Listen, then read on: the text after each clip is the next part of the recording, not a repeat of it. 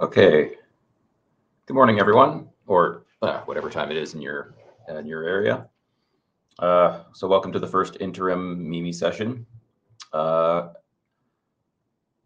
we're right at the start time for today by my clock. So I think we can, uh, although I think we're still waiting for at least one of our presenters to join. Um, I guess while we're, so let's allow a little more time for people to join the call. Uh, in the meantime, we do still need a note taker for today's uh, session. So if we have any volunteers, we would greatly appreciate um, having somebody take notes.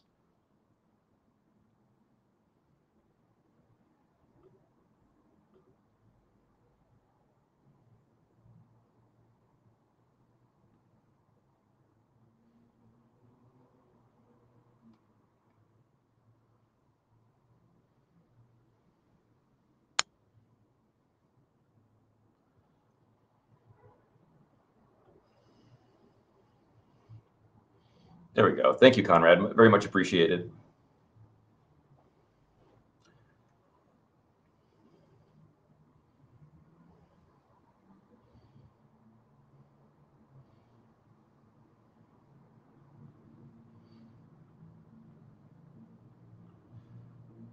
Okay, I'm going to get started with the chair slides. Um, so, uh, like I said, uh, this is the first uh, uh, Working Group interim. Uh, so first, we uh, ask everybody to make uh, to take note of the note well um, and uh, and uh, be aware of all the IETF policies on uh, intellectual property and how we run these meetings. I guess the mask policy is moot since we're all virtual today. Um, and with all that said, our agenda for today is to wrap up Eric Rescorla's presentation from back at IETF 116 on transport requirements. Uh, and what's not on this slide, late breaking development, is we also have uh, a deck from Raphael Robert and Konrad uh, discussing transport versus delivery service. Uh, all right, so are there any other proposed changes to the agenda or objections thus far?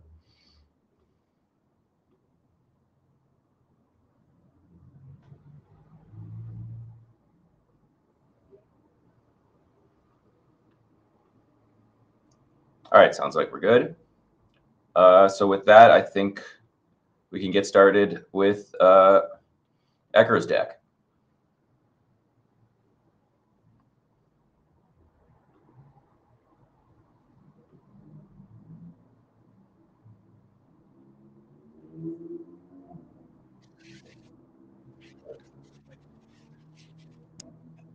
Howdy. There we Hello. So I think we were saying you'd start from slide here or the next one, Eric. Yeah, I think let's let's just I think do here maybe. Um, as I, am I'm, I'm also trying to page in where we were at the last the last meeting. Um, um, also, I guess since we don't have um uh so you know, I, I, can't see people in front of me. I can just see, see, the, see the mic line. Tim, can, can, you just cut me off or whatever when it's when you when like, I, think, I think we should do do what we did last time where people want to talk, they should just get, get, get to the line and talk, and and you should just like make a face at me or something like when I stop talking and we and and I, um so I think you know the purpose of this is to tee up the conversation, not for me to like just yak all the time. Um, so um to, to go back to where we were, um I think you know um you know, people have used um, these messaging systems. Obviously, notice that there's a bunch of different modalities, right? And so, you know, SMS, for instance, you can, if I have your coordinates, I have your E.164 number, I can just send you messages and they just show up on your on your system. Um, um, there are other systems where, um, you know, um, especially those that had presence built in, where you actually can't really do anything until the other side consents, where you can basically send some sort of um, you know, you can send some sort of message that says, "Hey, um, you know, uh, I'd like to be part of your network." And and and as I said back in like XMPP, it would be see presence information. Their presence seems to be no longer uh, de rigueur, um, and um, and then you can't send a message at all. And and the presence message typically only is allowed to have some very narrow information, if any. Um, you know, maybe it says like like the, maybe it's stereotyped, or maybe maybe it simply said maybe you can like have one line, um, um, uh, um, or whatever.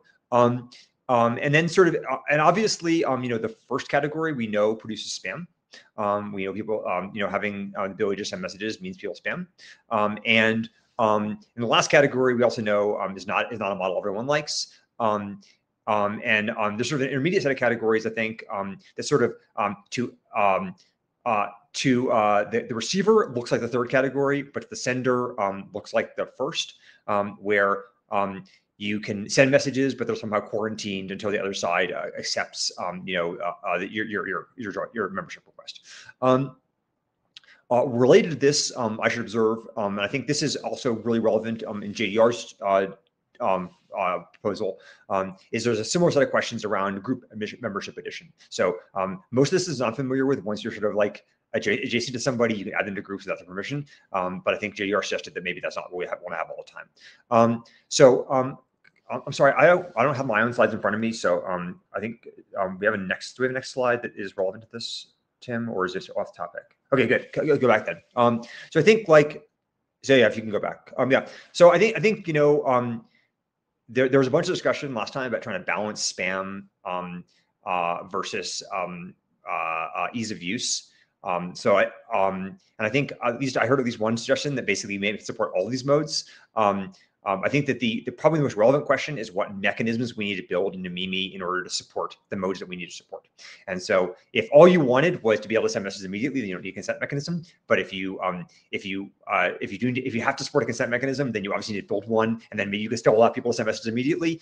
But um, you may but then if you allow that, maybe you need other anti-spam mechanisms um, other than just like consent flows. Um, so I think like you know um, uh, I, I, think what where we, where, we, where we were back in Yokohama is trying to get some sense of what people think is mandatory here, um, and in particular what's mandatory, um, you know, in existing systems and what, which which modes we need to actually continue to support. Um, so I think that's probably um, the cue for people to get in queue if they want to. Yeah, please feel free to step up to, to join the queue and ask questions. Or assert your position even more, even better.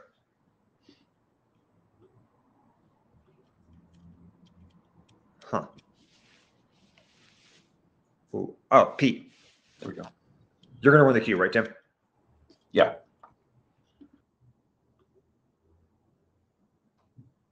Go ahead, Pete.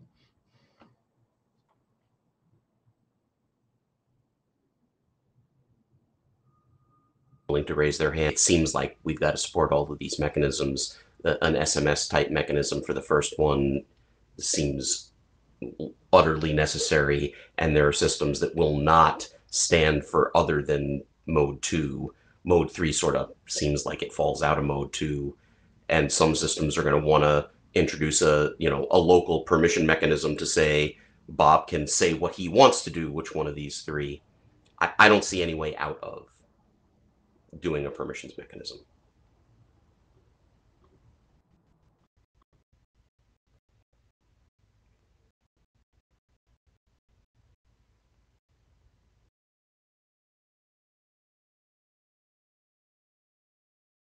Rohan, so, go ahead. uh, Pete, sorry, you said you don't. Um, you think that some systems do one and have to do one, or some systems do three and have to do three.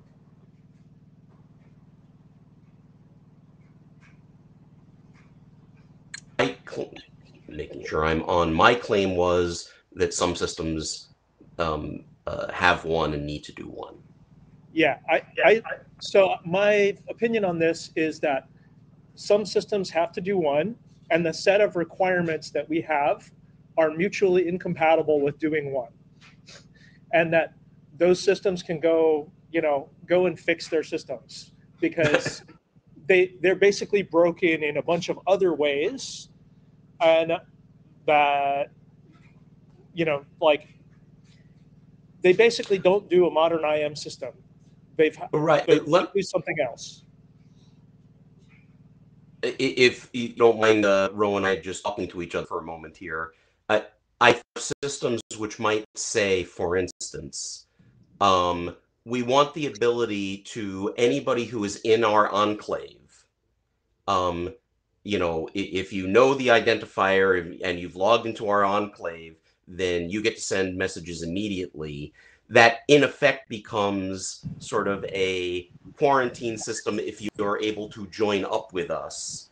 And I don't see that that's a bad thing to support. Um, Yeah, I, I think I protocol wise, it may end up simply being, um, well, you've got to you know, basically do a system-wide permission then, and everybody's got to give that permission up front. Um, but I, I think, you know, I think it may just um, decay into the other cases. Yeah, I, I think that the, the case that you brought up, I think that's a situation where Bob has already pre-consented to talk to a group of people. And it's not, you know, Alice, who Bob hasn't, you know, doesn't know from Adam, can send a message to Bob immediately. I think that those are different, those are different cases and we need to treat them differently. And I don't think we need to support one. I think we need to support two and three, and I think we need to support three in the case where that consent has come ahead of time. The point I was going to make on this is that can uh, we not uh, implement one um, effectively on the receiving side by two and three? That um, uh, if you have an implementation that chooses um, to automatically accept um, the inbound stuff then that's fine. However, the actual protocol still has that concept of doing a handshake, and it could be an entire um, gatekeeper or third party who decides, like iMessage and WhatsApp do today, that they just always hit accept immediately. But that's fine. It doesn't mean that the protocol needs to special case it as a special mode. So I think it's absolutely fine to do two. You get three then as a subset of two, and then one as a you know, kind of special case if the client or the implementation chooses to auto accept.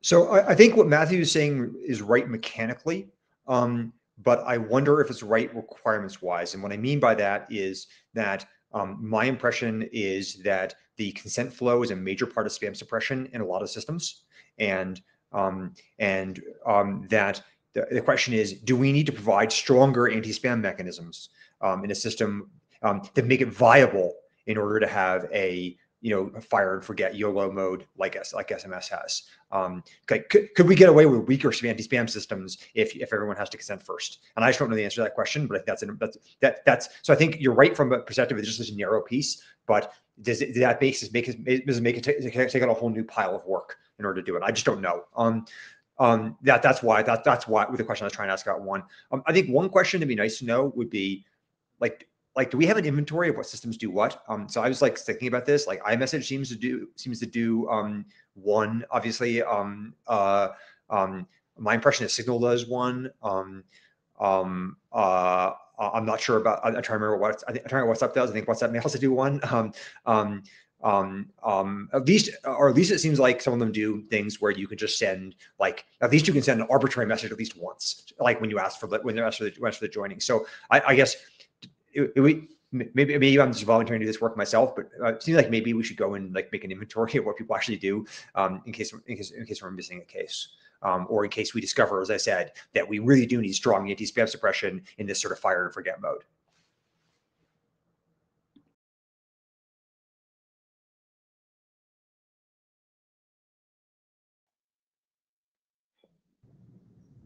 Yeah, I think I'm next. Um, I think the inventory would be useful.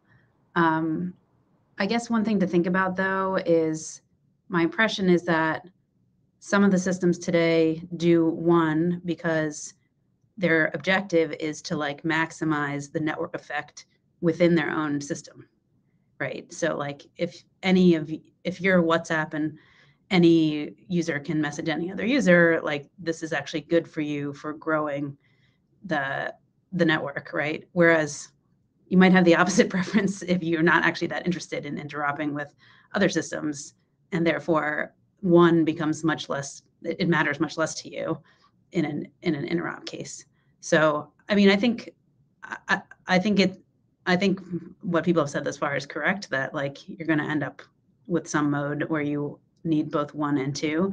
But I just think we need to be a little careful about saying like, well, these are how the, all the systems work today, and so that need, that is what drives the requirement because I suspect um, the motivation for how they work today isn't necessarily the same in an interop world versus a non-interop world.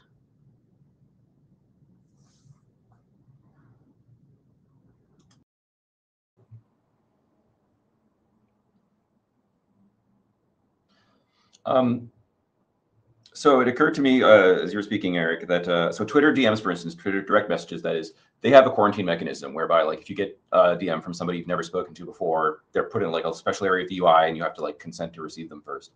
Um, but the nuance I see between that setting and say like Signal or iMessage is that, um, like, on a service like Twitter, I can go look up any user by like searching for them in the you know in, in, uh, on the website, and then I get the handle at which to send the messages. Whereas something like iMessage or WhatsApp, I have to figure out like what is the number or what is the um, the identifier that they're using for this, right? So, uh, point being that maybe the quarantine mechanisms for receiving messages are more valuable in the context of a service where there's some like public searchable index of all the users who are on there. Um, not that like getting somebody's phone number is necessarily an incredibly high barrier, um, but there's a difference. I don't know. It seems to me there's a nuance there that's worth considering.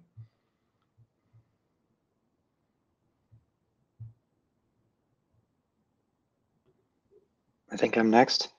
Um, so, yeah, I first I would be in favor of supporting all three, designing something that allows implementing all three modes. I think there are good reasons in different cases for each one of these modes. To Matthew's suggestion of simplifying by saying three, a special case of three is one, where you have automatic consent.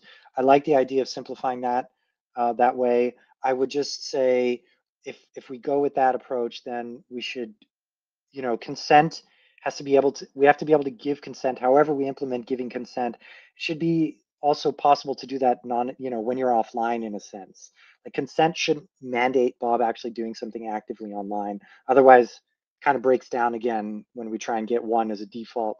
You want to be able to start messaging people non-interactively, right? When they're not even online. So that's just something to, to keep in mind if we go with that approach.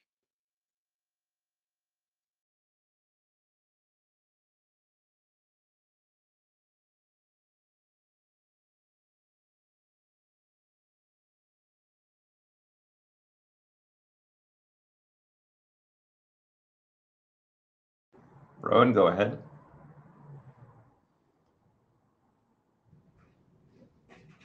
Yeah. Um, so I think the only service that that does this without any form of consent is Apple. Uh, I think everybody else uses presence of you know of a number in a contact on an address book or you know any uh, any of a number of other things as as a form of consent. Um, and but I think Apple's the only one that actually has oh like you have an you have a phone number through Apple, therefore we consent. You know, that's our form of consent. Um, and if you know if somebody has evidence to the contrary, I'd be really interested to hear to hear that.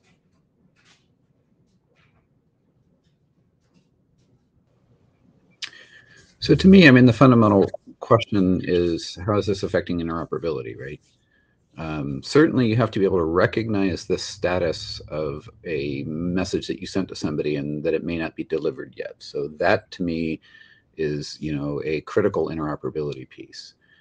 But you know, in terms of these three, you know, I, I which one you know would the resulting work say you must support, or which one you know would the resulting work say you must not support? Um, none of them seem like a candidate for you must support. Um, but there may be one for must not, or there may be, you know, one uh, that is based entirely on security, right? So the real question is which one would be considered insecure and vulnerable to protocol attacks or flooding and things like that. And you know that seems to be me only one. But if you're trying to work with interoperability systems that already that you you can't easily uh, change their existing implementation, then really to me the only question is how do you recognize the status of something that you sent um, that hasn't been delivered yet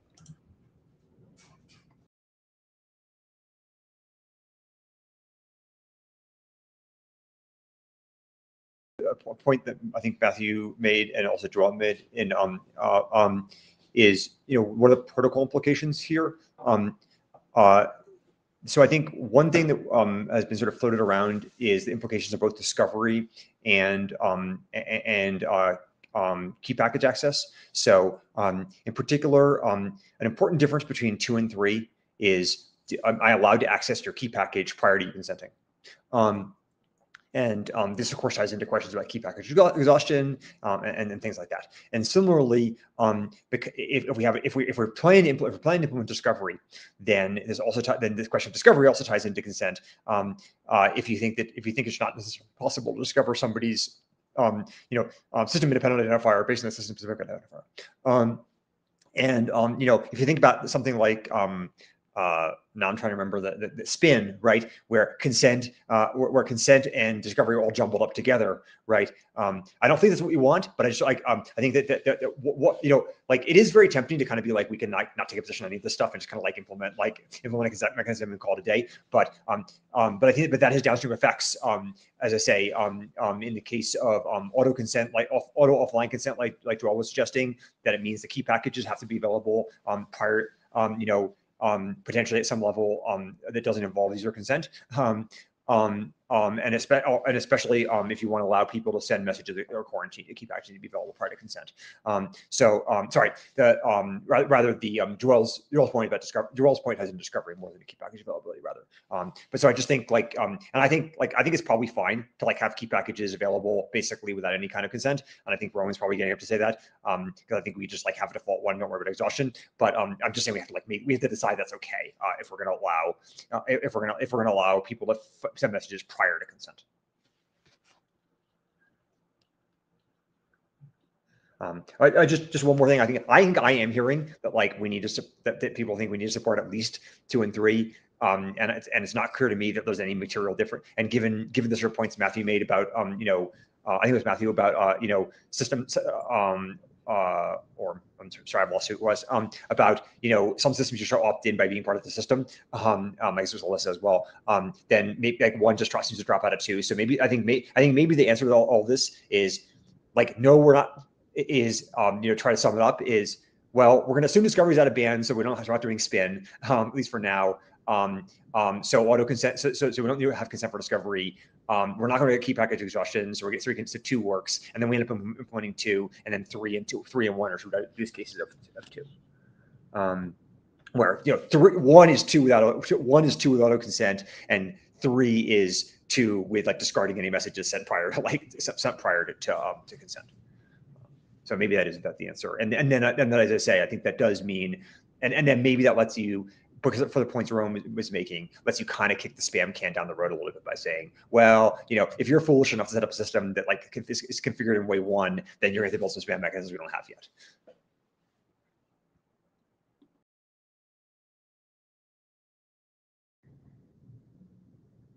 Thanks. Yeah, that that sounds right in terms of the summary. Um, just responding to Rohan, and I know Rohan, you and I have already disagreed about this in the past, but I can't remember what the resolution was. Um, WhatsApp oh, is, I think, supports one. You don't have to be in anybody's contact list um, to send a WhatsApp message, and you see the you see the first message before you can block. Okay, I, I I don't think that's right, but that's an easy question. That's an easy question for us to find the answer to. I mean, tell me how to stop getting the people WhatsApp messaging me who want me to invest in their cryptocurrency uh, investment vehicle, and I will be Take them out of camper. their address book. Take your phone number out of their address books. That's how. Dear God. Okay. Sorry that I sorry I didn't have a nicer answer for you, but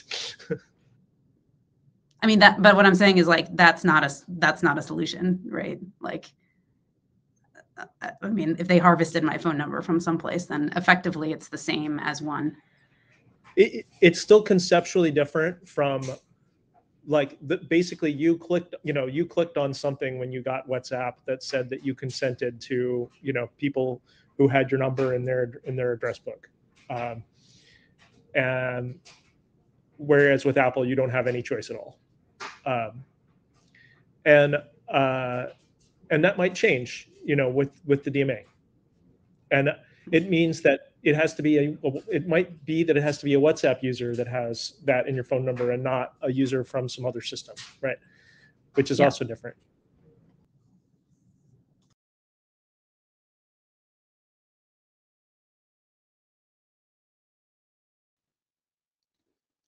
Okay. Sorry. Can you hear me? Yes, go ahead, Konrad.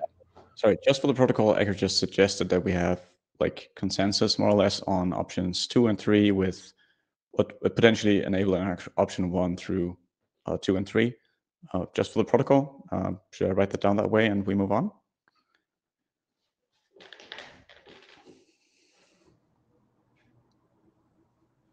Sounds like rough consensus. Nobody's jumping into the queue to object. So yes, I think that's the, uh, I think that's the resolution. Excellent, Plan thank of you. record. Suggestion. Um, but I just want to follow the sentence in the chat, which is um, that um, uh, Draft Rosenberg Transport um, has a separate mechanism for consenting to um, consenting to, consenting to membership in groups. Namely, I can add you to a group, and you've got to be able to agree to that. Um, and I don't, I don't think we need that. Um, someone, someone thinks we need that, we should speak up. Um, because that, that would be, that would be, I mean, not this difficult necessarily, but a separate protocol mechanism. And so I think, you know, the, um, uh, the, the uh, you know the, the model I have in mind is like once you're in my effectively my contact list, I can add you to any group I want. um, um, and if, if someone thinks we need a separate mechanism for that, like they should speak up because what like design that.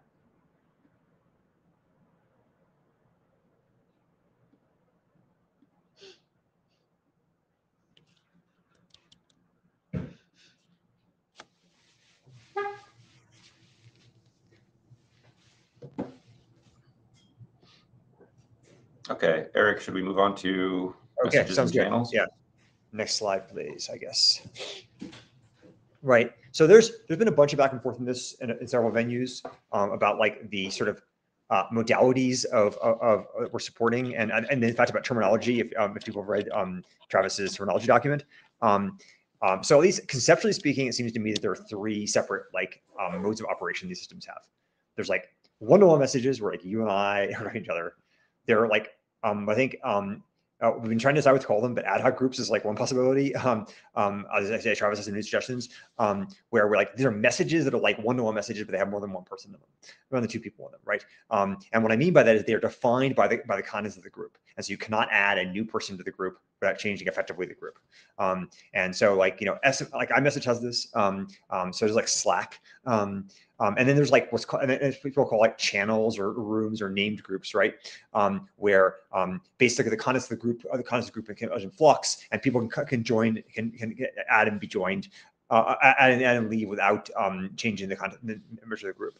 Um, these obviously um, have some overlap conceptually, um, and Richard Barnes and, and Alissa did some nice sort of surveys of like what the what systems did and um, um, and how they worked, and it was kind of a mess. Um, so um, uh, I think you know, I guess um, you know, I think there's a sort of a terminology question, which is what terminology should we call these things, um, um, and B, um, you know, which may be less important, and um, B, what we need to support conceptually um, in, in terms of the system. Um, and I think I think if I remember correctly, Alissa and um, Richard had proposed that we should only support like basically uh, effectively one-to-one messages um, and um, and what I'm calling here named groups. Um, um, we should not try to support ad hoc groups because they were they were hard to like actually make any sense of. Uh, yet another question, by the way, is how we think things ought to behave for um, when there's a symmetry in terms of the group membership for one, even one-to-one messages. And what I mean by that is, you know, um, is say we have a case uh, where um, you know, uh, where I, I, initiate a message to you, and like you know, we we are both on messaging systems A and B, and uh, you know, and and I have an, and, and I have a message, and, and I have and I have like an AA call, um, or an AB call, or my A to your B, and then you want to do your A to my B, like what happens, or your B to my A, um, and the same thing is true with these name groups, um, where basically you have the same group participants and should like this apparently um, like be one thing or two things. Um, like I say, for group for name groups, not not as weird because for name groups, it's like quite quite common to have two groups that are the same exactly the same participants. But for anything like even a one to one group, where it's defined by the participants, it's weird to have a situation where um, you know wh- where you and I are the two participants, and yet we have two different groups, two different like contexts depending on on, on who initiated this the, the association. Richard, are you in the queue? I think, or you're going to be. So I don't have much more to say about this, but it sounds like we need to like come down and it. Yeah, I don't think I hit the queue button, but sure, I'll, I'll ad hoc join the queue uh, if I can verbally join the queue. Um, yeah, so just to recap what, what Ecker um, mentioned, Alissa and I did a brief kind of ad hoc survey of, of a bunch, you know, whatever we had installed on our phones. So it covered like iMessage and Slack and WhatsApp and a few others. Um, and tested a you know this uh, a kind of standard set of things. You know, what happens if I join and leave? What happens if I try and set up a second group DM with the same set of people? And on basically none of those questions was there any consistent behavior. So I think that that's kind of what led us to be uh, disinclined to try and address this group DM case uh, in in MIMI because there doesn't seem to be any coherent model of it across the different messengers. I mean, ideally, we I think we could get to, to one basic primitive here, you know, a a room of some sort um, with one to one and you know, maybe some sort of group DM construct as a specialization of that. My understanding, and the uh, folks who are more experienced in this dimension should um, correct me here, but my understanding is that that's how it's how things are implemented in at least some messaging systems. Um, that the the basic construct is a, a group construct, and then it gets specialized when you need things like uniqueness, like one-to-ones uh, are established as a, a two-member uh, group thing.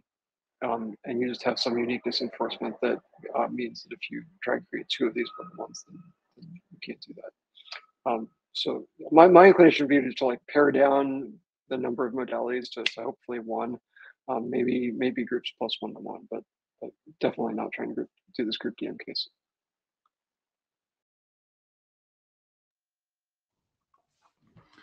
Um, yeah, I fully agree with what uh, Richard just said.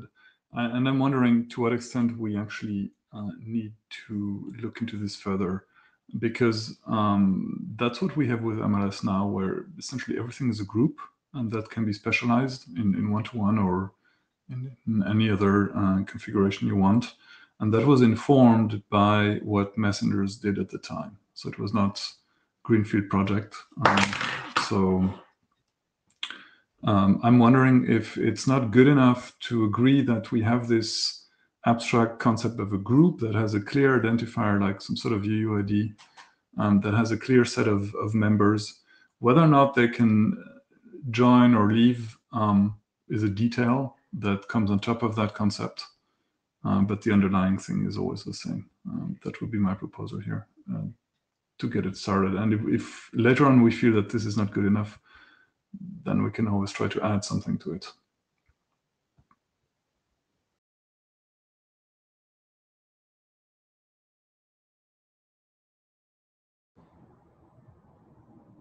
Jonathan, go ahead.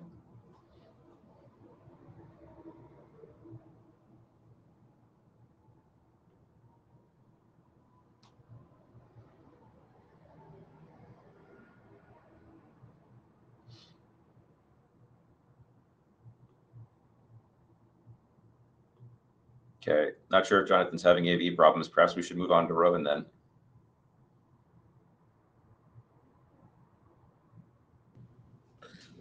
Hey, um, yeah, I think the I agree with the previous speakers that this is that if we represent this as a, a single sort of room, uh, that we have ways that we can make these different behaviors apparent.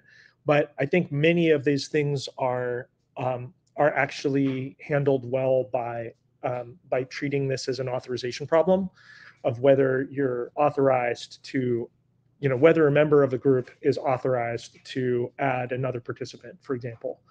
Um, and um, and i think that uh, and i and i will say that you know wire is implemented in this way and um, and xmpp uses primitives that that sort of rely on this kind of authorization uh, style model.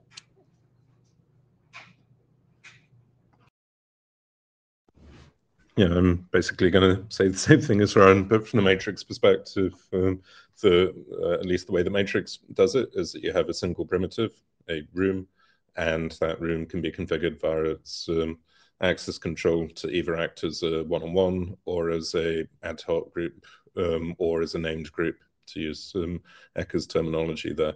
The thing that scares me more is um, interop with existing systems. I think iMessage is the famous one where um, if you try to create a new group conversation with the same n set of people under the hood, it is literally the same um, IDs used. So you just cannot have multiple conversations with the same set of n people Whereas obviously in a MLS backed MIMI matrix um, or even XMPP world, uh, you can have multiple private conversations with the same set of N people. I'm assuming that we are all collectively assuming that um, for something like that, Apple would have no choice that if they want to interoperate with MIMI, that they need to fix the semantics of their client to support um, that flexibility. But it is worth noting that it would be a pretty fundamental change, I suspect, um, for some folks who have made that assumption. Actually, just a quick quick point of, of, of fact. Um, iMessage was one of the systems that Alissa and I tested, and I think we were able to create multiple uh, conversations with the same set of people. I think that was one of the surprising results, in fact. Um, but yeah, there are now like three conversations with me, Alissa, and Ecker on, on my phone and my iMessage queue. Interesting. In which case, I'm going on data from about 18 months ago um, Yeah. where and I dug into it at the time, and it turned out that they were uh, the way they were doing group conversations was literally just to send a whole bunch of one-on-ones and then present it in the UI as a group together. Yeah, I'm not sure how they're doing it, uh, but it doesn't mean that there aren't other systems that, that do have that property. So, like in Slack, if you create a, a group DM among a group of people, and like you and you try and create it again, then you'll end up in the same one. And even if you leave the group DM, uh, you're you're not actually evicted, and um, if you uh, you can then re- get re-added and rejoin, and it's the same thing. It's it's it's odd, which is you know th- this is this these oddities are part of why I was proposing like let's not go down this path.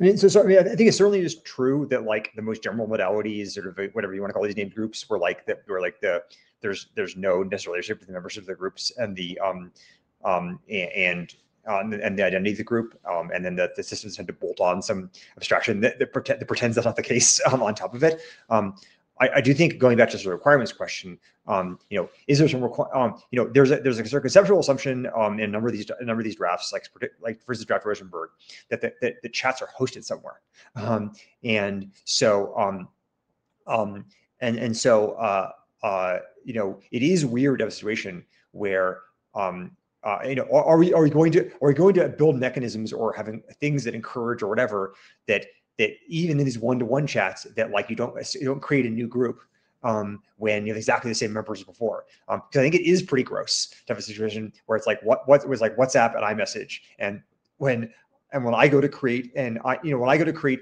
when when iMessage goes and creates the thing, then we have like a single chat, and then the person from WhatsApp, which like you may say, why didn't they just pick the one that was already in their list? But they don't, they've forgotten, and so they do something to try to create the group, and now you have like a separate chat that is like what is WhatsApp, like that's hosted on WhatsApp and talks to iMessage, and it's exactly the same the same two people. That seems pretty nasty, um, even if we don't solve like the group problem.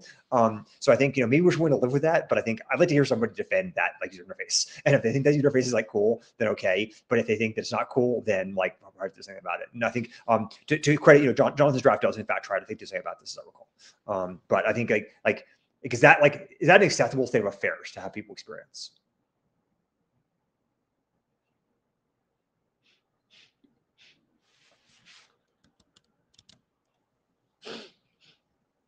I'll go ahead. Um, so yeah, I think one of the lessons we we learned at, at Wire is if we we had a, we have ad hoc groups, if we had a choice, we'd go back and not do it. So uh, my my personal take is name groups, and one-on-one messages, and that's enough. Ad hoc groups are confusing for people. Um, to Raphael's comment about whether we should even be talking about this because MLS just does name groups. I think for interop, yes, I think it is important that we agree on the modality because otherwise, you know, if the behaviors of how the rules that two different providers, you know, impose on the on the modalities don't sync up, then I don't see how interop can, can work. Things can go really wrong. So I think it is important for us to agree on these modalities for real interop. Um, the other thing I wanted to say is Rohan was was commenting that a lot of this can sort of boil down to access control in an MLS group. I think for that's true for name groups, implementing ad hoc groups. Not that I, like I said, I don't think we should have ad hoc groups, but I think that works. I think what, what doesn't work straight up for MLS, um, out of the box MLS is the the um, well, okay, for one-on-one messages, you expect to only have, I would expect to only have one one-on-one message. In a sense, it's maybe a special case of an ad hoc group. That I don't see how you could do that with MLS because MLS doesn't say there's nothing about when you create a group that that allows you to um, you know depend on the existence of other groups that say oh now you can't create this group because there's something else some other group that has some other state. You know that would be something that's a layer up that requires some statement like some notion of identity and which has users and blah blah blah. So i don't think access control completely solves the problem here like sort of vanilla mls access control or maybe Rohan just understands a different thing under that term. But yeah so those are those are my takes on what's been said so far. Sorry, can I just ask you one one question for clarification there? So um, you're saying that you you think it's acceptable that MIMI would define the you know the further constraint that gets you a one-to-one message or, or a one-to-one uh, chat that where you can never add a third user. Yes, yes. I mean, I think it's I think one-to-one messages is widely sort of accepted, like as in there's a lot of precedent for that. Users understand that. Um, I think that's a that's a, that's a well understood concept, and I would I would be in favor of supporting that. I do think it's a bit okay. of a mess. What Eric was saying, like if I have a bunch of one-on-ones with with the same person and they're not like named groups for a specific topic, I think that does become a bit of a mess. So yes, I'm in favor of MIMI defining generally named groups, but as a special case, yes, there's this concept of a one-on-one message that at the MLS level, yes, sure, it's treated as a named group, but higher up the stack of what we define, it behaves like the special case of an ad hoc group for two people, something like that, if that makes sense. Okay, thanks. Yep. Yeah. Uh, oh, sorry, JDR.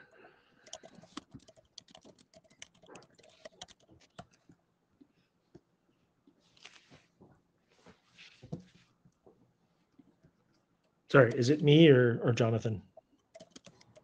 It is Jonathan, but I suspect he's having problems with his microphone or with Okay. Echo. Uh, Uh, yeah, I don't so see I any th- buttons for me to press. Go ahead, Ron. yeah, the, the, the thing that, um, uh, I, so to jo- Joel's point, I think that this is, that's authorization at a, um, at the MIMI protocol level, not at the MLS level. And that the, the semantics for one-on-one or for ad hoc, I think is that if you have a, um, a fixed, uh, a, a fixed, um, membership group. And if you have a fixed membership group with a, with no name versus a fixed membership group with a name, a fixed, any fixed, any fixed membership group with a name will resolve to an existing fixed membership group uh, with no name. So if you try to create a fixed membership group with no name, and then again try to create another fixed membership group with no name, they will match and they'll be the same group. That's how I that's how I treat the one-on-one case and how I how we can treat the behavior of ad hoc groups, you know, with the same membership if that's what you want, ending ending up together. And if you don't want them together, well, you could just create a unique name for each one and then they won't collide.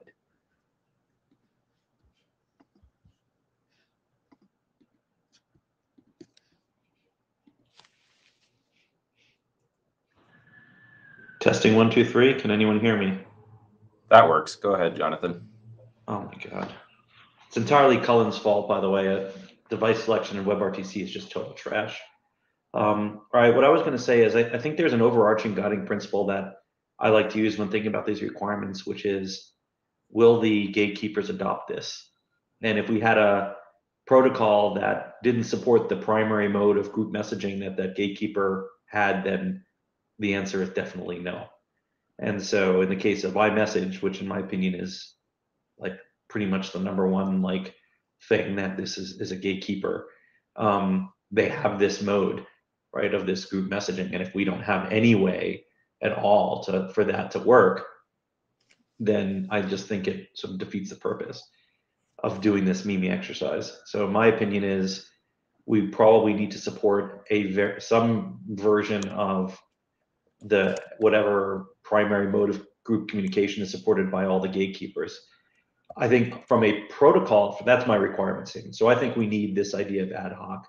I think from a protocol perspective, it can be supported by, as others have pointed out, you know, the protocol itself only understands the concept of a named group, and we just we just treat an ad hoc group as like by by hashing the participants and mapping them to a named group. So each set of unique ad hoc participants maps to a singular named group, and then as others have also commented, um, you know, adding and removing people would just cause you to move to another group, and um, but at least we would we would support like the primary use case for iMessage multi-party chat, which I think is a pretty important thing to do.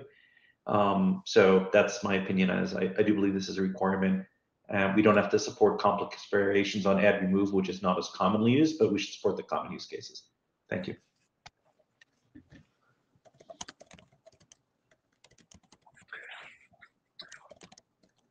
So I think I may be in a sort of similar position to where Jonathan was ending up at the end of that.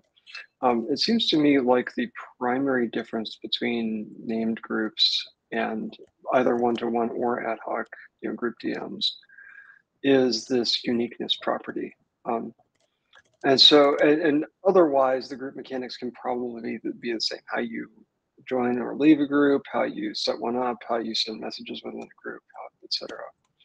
Um, so I, I, think basically what I'd like to propose mechanistically is that we we agree that like in terms of the an actual live thing once it's set up, you know, we have one thing which is which is a group um, of folks communicating, whether that's two people one on one, whether it's a decrypt or whether it's a, a named thing. As Rohan pointed out, there's different policies you might attach to this in terms of who can join and leave, but the only the only difference between that thing and the the one-on-one or group DM cases is this unique uniqueness property. I think that directly gives us one-to-one support because the uniqueness question in one-to-one is, is very easy to solve. Like when you get a request to make one of these things, you see if it exists with the other side, and if, if so, you use the other sides and off you go. Um, so I think we could kind of do this stepwise, you know, solve name groups first, then solve uniqueness to create one-on-ones because that seems straightforward, and then eventually get to you know, group DMs if that's something folks want.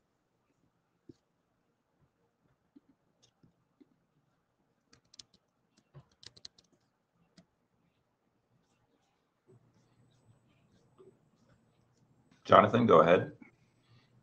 Yep. Um, so yeah, I think, well, I, I think I like the idea of them all being named groups, sort of, you know, at the protocol level underneath. I think there needs to be some, I mentioned this on the chat, that uh, some uh, notion of sort of the higher level semantics that the user is intending, because you know, as I mentioned, it would be very bad if I do something that I intend to be a one-to-one chat, and the other person on the other system doesn't know that that's meant to be a one-to-one chat, so they see that as a invitation to a named group named UUID ad hoc group Jonathan and Eric. That would be a terrible user experience. They want the other side should know this is semantically intended to be one-to-one chat or a group chat. You can't add people. So I think um, there needs to be enough such that the endpoints can agree on what the you know you know give the same user experience and give you know insofar as they distinguish the user experiences of these different things and hide you know irrelevant protocol details and get um, to the endpoints. So um, that may be sort of some layer on top of the named groups semantic at the protocol layer, but I think it needs to exist.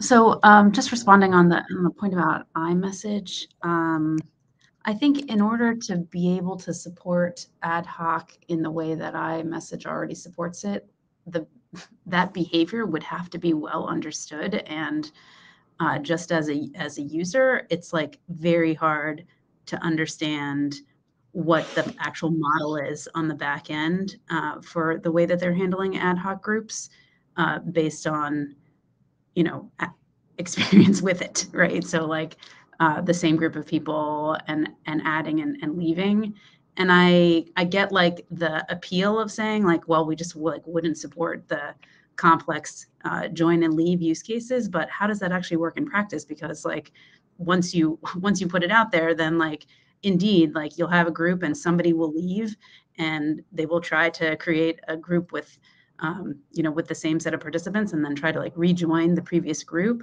And then like the the protocol has to say something about what happens in that case. It can't just be silent. Um, so i don't i don't actually see like the a straightforward path to to saying like you know whatever imessage supports today like we have to be able to support because um, i think honestly it's like a little bit broken the way that it that it works today. So i think the the path that richard laid out makes more sense to me and and and with time like it, it might become more obvious like which of the ad hoc um, behaviors make sense to support but i think trying to sort of deduce it um, for the purposes of of baking it into into the protocol will be very difficult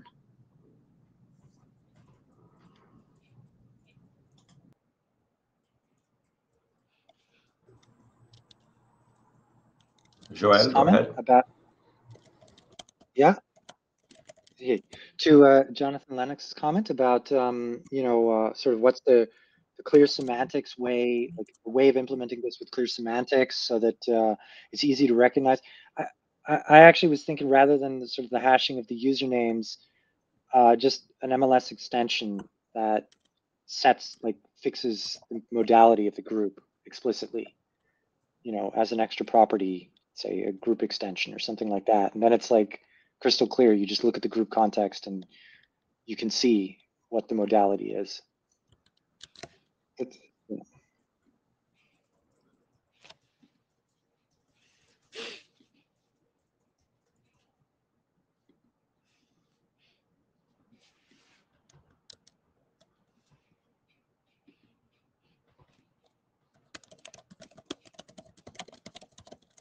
yeah. Ecker, do you want to summarize where where you think we got to I I can try.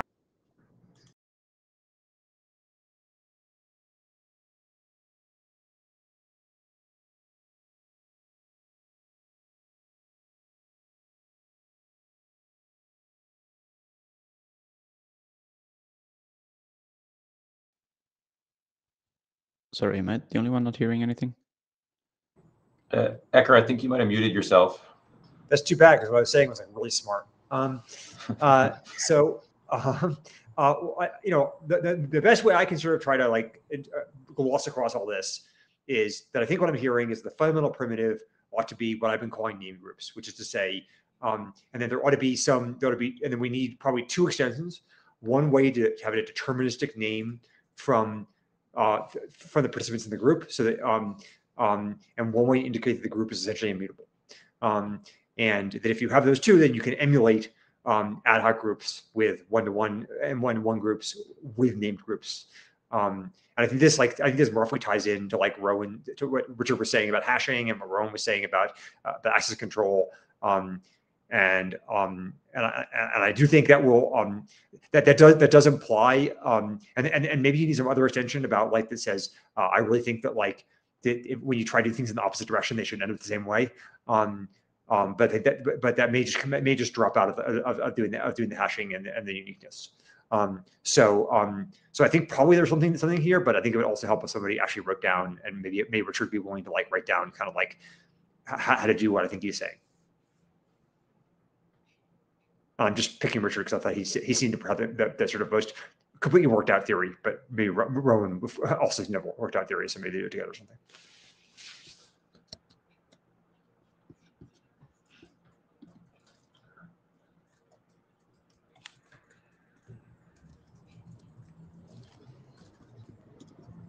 If nobody has done it by the MLS workshop, I will take a stab at it.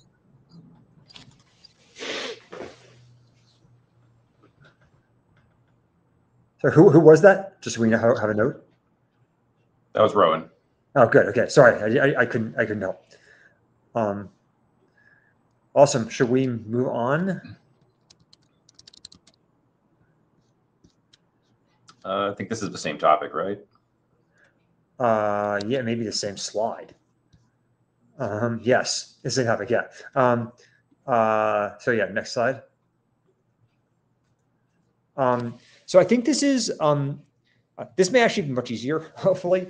Um, so if you look at like um, MUC, uh, XMPP, MUC, and Matrix, they have like quite a complicated like room management apparatus um, with like you know ownership, room ownership, and uh, and like Matthew's made this hierarchy of ownership, um, you know moderation, kick ban, asking to join tasks, et cetera, et cetera. And like lots of systems don't have that at all. Um, and this is out of charter scope um, for uh, for the charters I read it uh, for us to think here. Um, and I think the assumption that I've been hearing is that this only works um, that this, this does maybe work, but only that, that, that any, any given chat is owned on on one uh, on one service, and if that service, of course, will have its own apparatus for doing this, and that you know, so if you like, if a chat that's hosted on Matrix, then the people who are on Matrix can do like can own and moderate and kick ban and whatever. But if like I'm on if I'm on WhatsApp, then I don't get to like do any of that shit. I'm like the, the chat's owned by Matrix, um, and um, and so like that means that it's all the all apparatus is private rather rather rather than interoperable in public. So I think that was that was what I heard being discussed privately. So maybe people um, maybe I misunderstood this entirely. Eric, I want to, I want to interrupt. We have uh, Matthew and Rowan in the queue, I think, to respond to that. Go ahead, Matthew. Um, this is one that um, I, I think is a real hornet's nest because if we let every different implementation of basically every hub or owner server come up with its own access control system in terms of who's allowed to kick who and are you allowed to speak if your name has an M in it and whatever other random rules.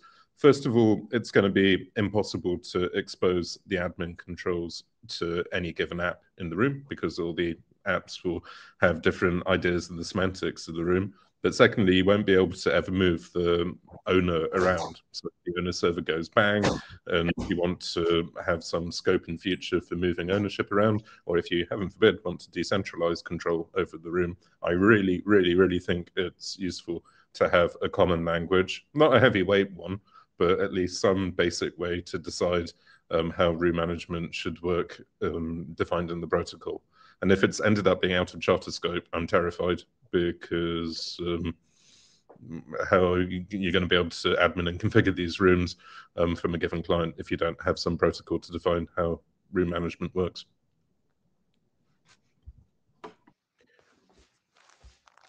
Yeah, um, pretty similar to Matthew's comment. Uh, I mean, the way that I'm going to express this is that we should define the semantics of all of these things.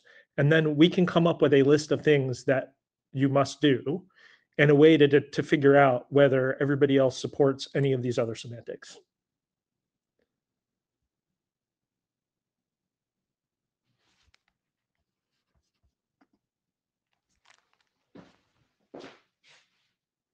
Can you guys hear me this time? All right. Okay. Um, I, I, go back to my fundamental theory of how to make decisions and requirements, which is if it's not there, will the gatekeepers adopt it? Um, and so uh, this is one where I the, the feature set and the, the main gatekeepers are primarily consumer, I think have much smaller feature sets. So I, I do think we should just focus on doing a minimum that would allow that to interoperate. I know there are people on this call, I know Matthew and all are, are, are interested in, in a bigger, in, you know, in doing beyond that. I appreciate it. So that's going to be where we, we're, we're going to find uh, difficult decisions need to be made. But I, I, think we need a minimum set that maps to the uh, capabilities of the, um, uh, the, the gatekeepers. The second thing I would say is what definitely needs to be in scope in all cases, if you attempt to do an operation that you're not permitted to do, like the protocol to support rejecting because you're not allowed to do that. So if there's a like add person API and I'm not and I'm and I'm not it's only possible by moderators whose name is Eric and and I'm not such a person like I may not know that that's why I'm being rejected, but I should be rejected and know that I have permission to do something. So as long as we can express errors due to permission problems for all operations we support, we at least have some ability for the systems to work together, even if we don't expose the full set of ownership moderation and other functionalities outside of the owning organization. So I, my, in conclusion, I think we need a minimum set that maps to the consumer gatekeepers, and we need a capabilities in the protocol to express rejection because of lack of authorization.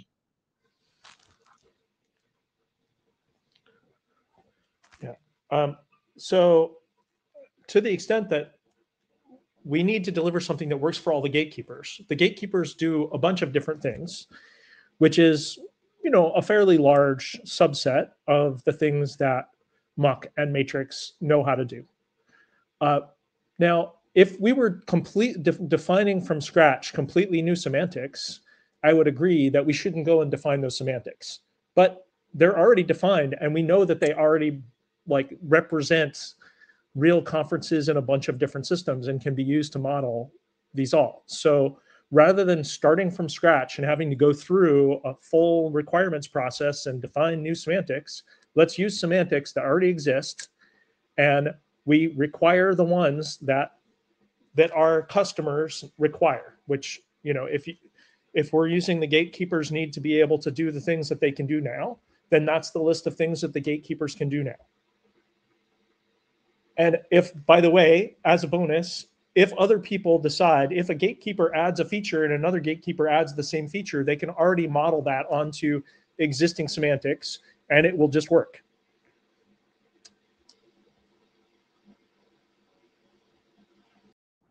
So I think I was nesting in queue, um, although I suspect I'm about to say the same thing Alissa is. Is Alissa posted in the chat what the um, language around this uh, was, which um, uh, which I think um, you know uh, may in fact prohibit much of this. So I think it'd be useful if people think that what they're asking for is consistent with the charter, um, um, uh, or if they think that the charter needs to be changed. Um, um, and um, so I think that'd be that'd be a useful place to start because if it's changed charter to do WIS work, then we have to get on them. Right. Yeah. So one thing is that I think not everything on your list here is uh, necessarily in the same bucket vis-a-vis the charter. Um, in particular, I think this the kick ban uh, is to me is like kind of a distinct um, consideration from at least from ownership and, and moderation, um, and also like a very critical consumer feature. Um, I mean, both consumer and enterprise feature as opposed to the other two, which are um, more like enterprise features, my view. So, um, so that's one thing to think about. Um, that maybe maybe we we treat different ones of these differently, um, and we've already spent kind of some time talking about, you know, blocking uh, users and, and reputation and whatnot. So I do think that one's a different case.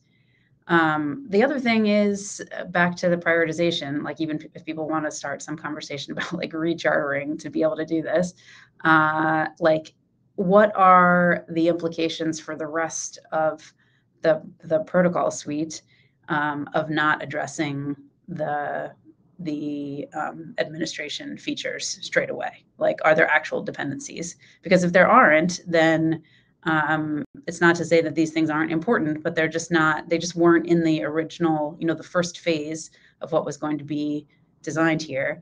And there are a lot of other things that are in that first phase that are really hard and uh, and we need to make progress against. So I think we need to prioritize. And um, if there's not much in terms of uh, design implications for the things that are in phase zero, then uh, we can we can say that um, the ownership and moderation are important, but we'll, we're going to address them in in phase one or two, um, and without you know without creating problems for ourselves down the line.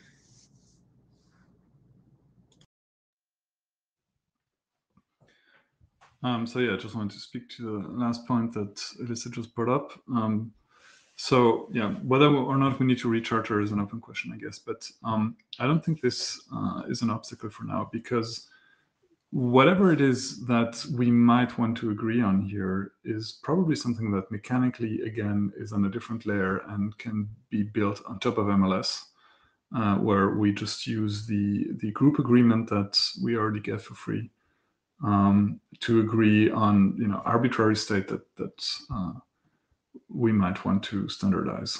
Um, so my feeling is it's okay to uh, not solve that problem right now, like Alissa just suggested, and then move on and figure it out later. Um, we're not going to break anything necessarily.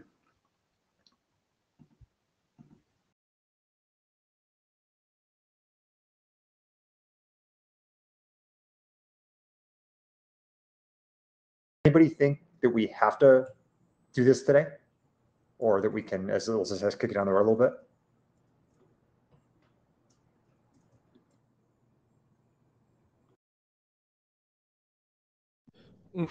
I think it's um, a risk of a really bad user experience. Like if we're saying you can't even name a group chat um, for now because that's considered complicated room management, um, then that would be a real uh, mess. Um, I, am finding it quite hard to actually understand what we're defining is in charter scope. Okay, so Jonathan says in the chat that naming um, should be in scope, but then um, who, who has permission to name? If it's a group, surely you then need the concept of an admin because you don't want like a hundred person group and somebody starts going and renaming it something abusive, blah blah blah at which point, hey presto, you need to have some kind of um, permission management system in there. Uh, it almost feels like we need to. Uh, this isn't black and white. Surely we need to have a matrix of the different functions and see which ones we think are in scope and which are out of scope for the charter. I'd be quite happy to drop a grid if that helps.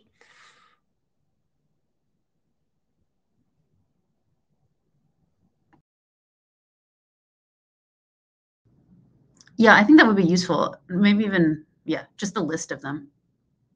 Cool. Okay.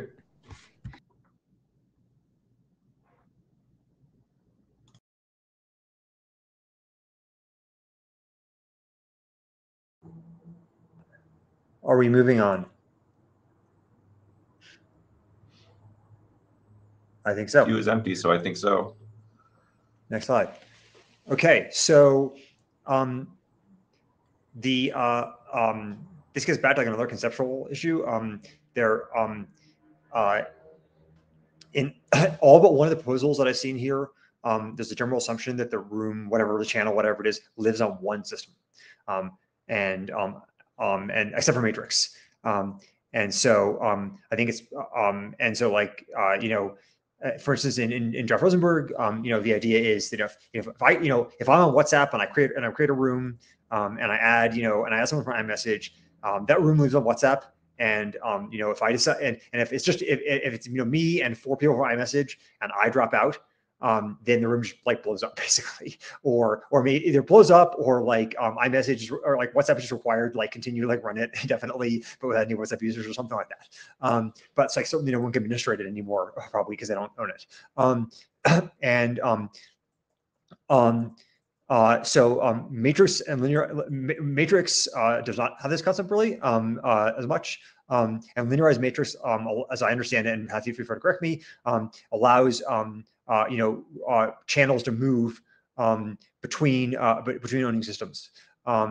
and um, so I think you know we really have to determine that, that, that's something we want to do or not. Um, as I said, I think my understanding is that the sort of general sense of the group was they didn't want to do it, but um, um, but you know, we didn't actually discuss it, so who knows what we'll actually think.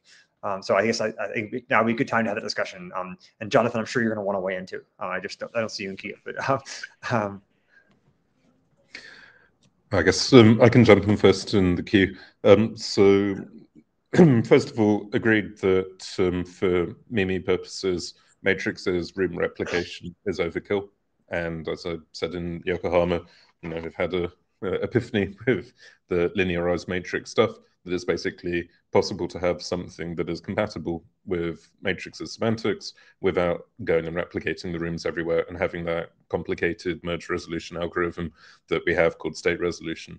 And that is what linearized matrix is. Um, but because, um, ironically, because uh, you end up um, having well-defined semantics about group administration in terms of who's an admin, who's a moderator, and all that stuff, and you get it for free, it does mean that you can pretty easily move the hub around the place. And I would argue that's a really valuable thing because not only does it solve the problem from the previous slide that um, you get a set of consistent semantics for um, administration stuff, um, and it doesn't matter what uh, where the hub is. It doesn't matter, say, what server a given user was on when they created the conversation, everything's always going to behave the same. Because the thing that I'm most worried about on um, uh, the previous slide, say the naming thing, and the example that Jonathan gave in the chat is that somebody can try to set the name of a group, and one hub might give one answer to that, and the other might give a totally different answer. I would say that's a horrible bug because as a user, I don't want to care whether this group happens to be hubbed off WhatsApp or iMessage or whatever. I expect to be able to try to do an operation and have a consistent response rather than exposing that mess to the user. So the ability, uh, having codified enough of the really basic minimum viable semantics for group admin for things like naming and access control means that you can move the hub around the place, um, even if you don't do it in the first step. And it also means that if a provider goes bang, um, you lose connectivity to the internet.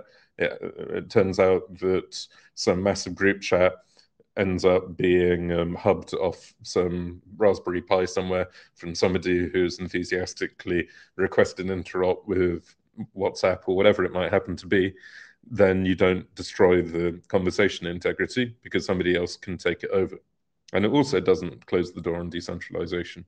I appreciate this is a possibly a bit of a holy war thing, but I really think you can have your cake and eat it here. You can have something that is super simple to implement, has minimum viable semantics for access control, and allows you to port the hub around the place without something that's really complicated. And the linearized matrix ID is trying to concretize that without any dependencies on the existing matrix prior art, but just doing it standalone, complete with a working implementation to show that we shouldn't be scared about doing it that way. Sorry for the rant.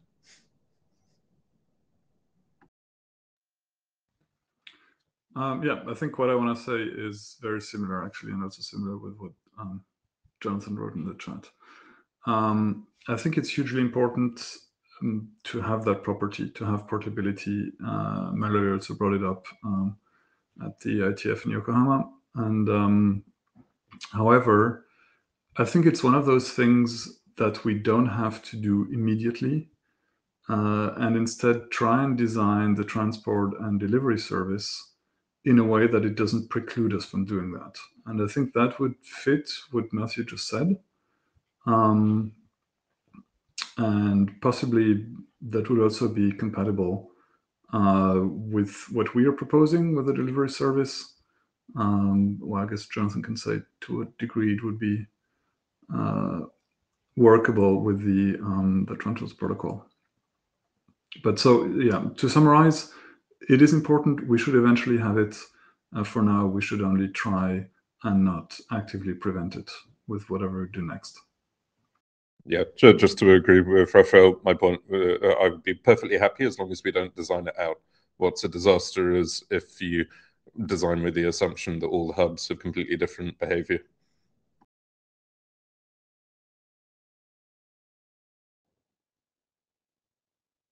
Um, yeah, so my, my worry is that the reality is all the hubs ultimately will have different behaviors. I mean, again, if we were starting from a system that was greenfield, it would be different. If we were, you know, starting with a system where everyone is running a common code base or derived from the same protocol, like like Matrix system is, where you can have this idea that it's fully portable, then okay. But we're, you know, it's going to be different from vendor to vendor, and that's that's the reality. In order for this to be portable, we would have to support the superset of all the functionality, and also, um, you know, make the assumption that the portability of the chat is something that the gatekeepers even sort of want to do. Um, it's unclear to me that anyone anyone really wants to do that. Um, so, but either way, I, it's it's hard for me to. And I'm not sure what we would do in the protocol that would make it impossible to do in the future. There's almost nothing you can I can think of that would make it impossible in the future. I, I just I just don't think we should consider it it now, and and we can kick the can down the road if we on whether we ever do it or not. But um, I certainly don't think we should worry about it now. So I think we're agreeing basically that as long as it's not designed out, it can be kicked down the road, which is fine by me.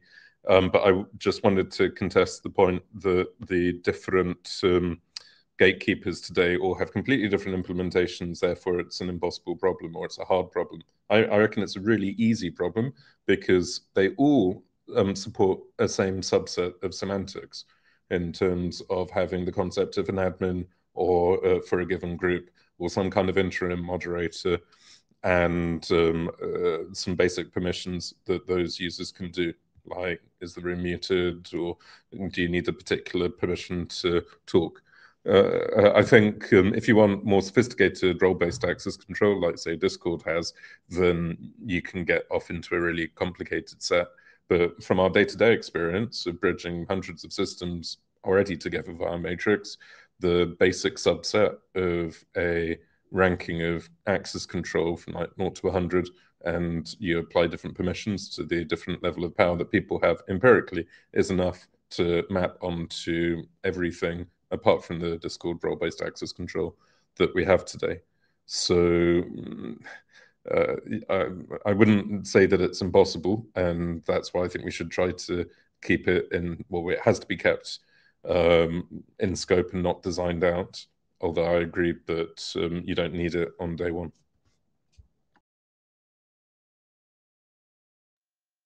Just want to quickly reinforce what Matthew just said. Um, I think the level of agreement we need to be able to interop in the first place should be sufficient to also allow portability. I don't think we have to introduce something massively new because of that.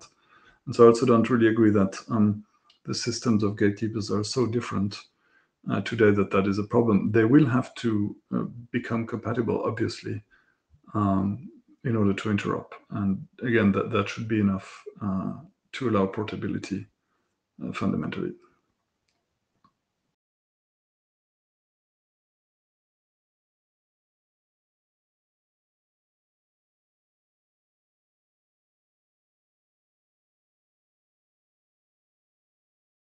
is, is the upshot here that everyone's okay with with with doing this a little bit later and we just need to be on the watch out that we're avoiding creating situations where that's not the case is that the bottom line and then we can and the, if we have the point where someone proposes doing something that for instance matthew thinks will prevent portability in the future matthew says something and then we argue about it then or is there something else some other follow-up on that uh, the one action that's brewing in the chat is the, to take an inventory of what is currently supported by existing systems, um, which does seem like a useful exercise.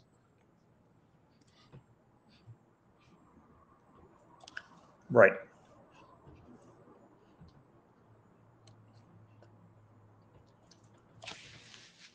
Great. Okay. Um, should we move on? Okay. So so this um, uh, uh this, this, this is going to be a long, uh, a somewhat long setup um, um, that I think um, I'm not sure I'm doing a great job of teeing this team this one up. Um, so I'll try to like um, uh, uh, uh, see if I can frame this and then and then give given I'm not may not particularly motivational example and then we can talk about the details. Um, so um, the, the the key point here is that state exists at multiple levels. So as a as a concrete example, um, you know, you can have the idea at the transport level, which people are in the room, that is to say, when you send a message, who it gets like fanned out to. And there's an MLS level of which keys are in the room. And, um, you know, that is to say, when I encrypt a message, uh, and, and so, so, the transport information exists to some extent at the services, and the, and the, and the, and the key material exists um, some some extent at the endpoints. So I you know I end and encrypt the message, and even if like you know if I think that Richard and Matthew are in the room, and the transport thinks that Richard, Matthew, and Jonathan in the room, well Jonathan gets a message, but he can't decrypt it, right? Um, and so that's um, and so I think the question becomes you know how tightly in sync these have to be, and they have to be cryptographically connected. Um, and what I mean by that, and this and this probably is a security question, is it goes to the security properties of the whole system as a whole. Um, so can you can you go to the next slide? So, you know, uh, um, as a warm-up example, um, you know, if you think about it, um, we, you know, here we have a case where the room membership is constant. So we have Alice and Bob in a room, but Bob gets a new phone, and so he like sends a commit, um, you know, with a new key, um, and um, and I don't want to detail how the commit works um, in MLS because I'm, I'm, not sure I can reconstruct it right now, but even so, it doesn't really matter. And, and the end result is the room membership hasn't changed. Um, but there's a new, but, but Alice is aware of a new key of Bob's K3, you know, in shown in red. Um, so this is an example of a change that exists only really at the MLS layer. Um, uh, next slide. Um, um, conversely, you have a situation where, um, you know, Charlie gets added by the service to by, by this by the service um, to a chat. Um, and so, you know, and, and so here in, in red, we see just like the ML, there's no MLS change just yet. Um, and, um, you know, so Charlie's added the, what we, you know, what Mark would call the roster. Um, and, um, and then in the next slide, Charlie, you know, Charlie, like a Shirley join as himself the MLS group, and that when Alice and Bob see the external, the external commit, they basically say, well, Charlie's in the chat, um, and so I ought to like add him to MLS, and so now, now, now you see things are synchronized, right? Um, and so um, this is like sort of a naive, um, you know, conceptual, conceptualization. Um, next slide. Um, but so I think the, the, key point here is in the example I just showed, you know, the endpoints did not actually assent to Charlie being added to the group in any meaningful way. What I mean by that is they just read the roster off of the, um, you know, off, off of the servers. And when Charlie asked, asked to add himself to the group, they were like, looks good to me. And they took the MLS external commit, right? And so, um, and so, and so the question I think becomes, um, is this an acceptable state of affairs? Um, which is, is acceptable state of affairs to have the meta information, which is used to control the MLS. So I mean, the way MLS is designed, right, is you get these messages that say do things, do various group manipulations, and you have some access, some unspecified access control mechanism that says either accept them or reject them. And so, um, and so this, and, and so like the security of MLS is some, some, some outsourced to the access control list. Um, and the MLS just like makes sure that things are visible, but it doesn't like, but you know, if if if you're told, well, you know, here are some key which is actually published on the internet, but add it, add it anyway, um, there's nothing like MLS doesn't say what to do about that, that, that fact. And so um, you know, I think the, the, the, question we have at hand is, is, you know, do we want to, you can imagine really a system was differently constructed where everything was like signed by some group member and that the access control lists were also signed by the group member. And, um, um, and, um, and then so like you would, and, and then, and then, and then so then that, that would tie together the, the group state and the MLS state.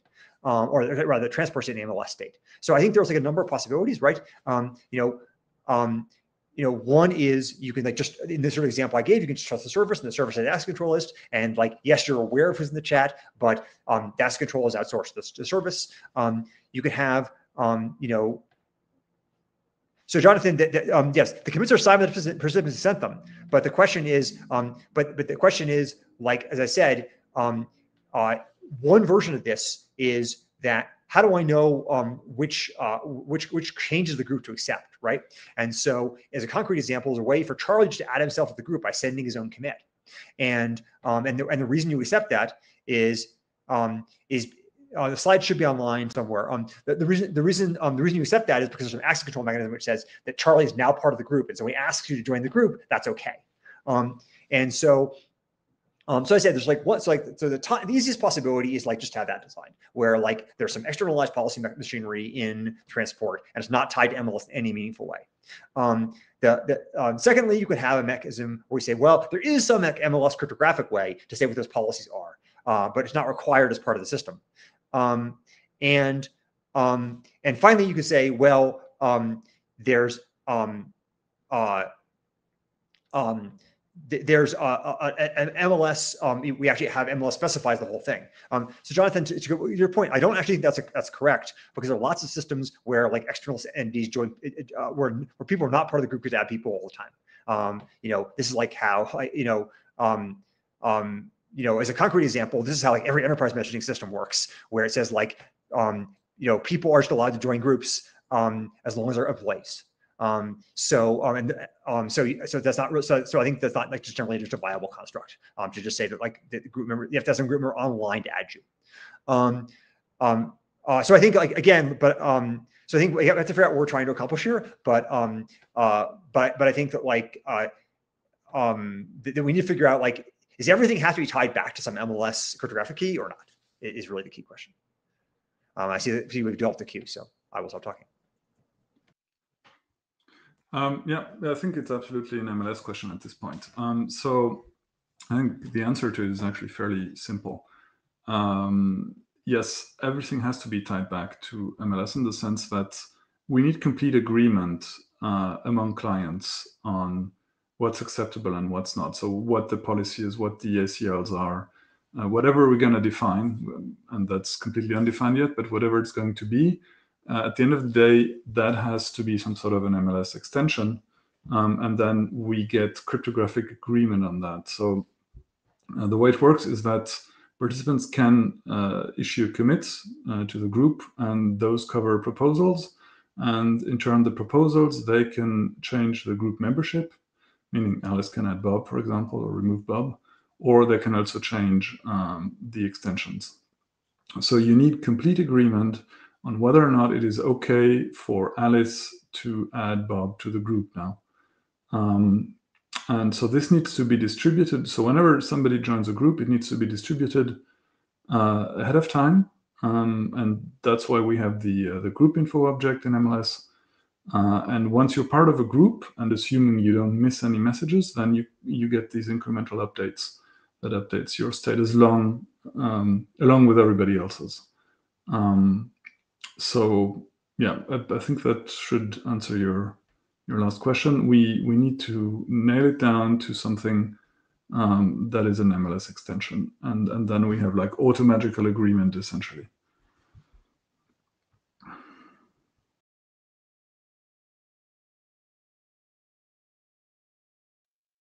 Right. So um, I I you know pretty much completely agree with what Raphael said. Uh, definitely not just trust the service, right? We want authenticity to be an end-to-end property so clients, whatever happens, you know, I, I, feel quite strongly that clients should be the ones enforcing the ACL for themselves. Um, I do think also there's a lot of we, we we get real mileage out of making this making ACLs something that ties right into the MLS state itself at a cryptographic layer. Um, I think agreement is important. You know, we don't want to end up in groups where, for whatever reasons, bugs, maybe active attacks, whatever, you know, clients in a group don't even agree on the ACL. I think that's just not a good behavior to have. And by tying the ACL mechanism to the MLS uh, state at a cryptographic layer, we, we, we get this property for free in a sense, because if you don't agree on the ACL, you're not going to agree on the MLS key, and you're just not going to be able to decrypt each other's stuff. So communication breaks down, and that's kind of what we want when we get out of sync like that, I think. Um, and MLS provides us really good mechanisms to do this, to do ACLs and to tie them in. You know, MLS has that, has all the, the bells and whistles built in for us to do that. So I'm quite strongly in favor of, of three here, require MLS, um, you know, and, and require ACL like that ties into the cryptographic state at the MLS layer.